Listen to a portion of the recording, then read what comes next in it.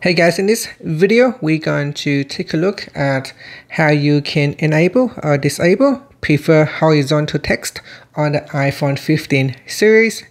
First, let's go back to the home screen by swiping up at the bottom of the screen.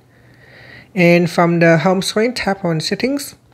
Now in the settings page, we then scroll down and tap on accessibility.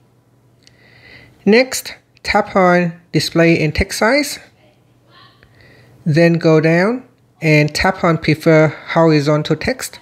Tap on the toggle button to switch it off or turn it on.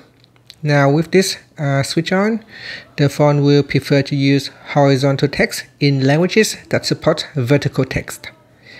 And that's it. Finally, you can uh, swipe up to go back to the home screen. Thank you for watching this video. Please like and subscribe to my channel for more videos.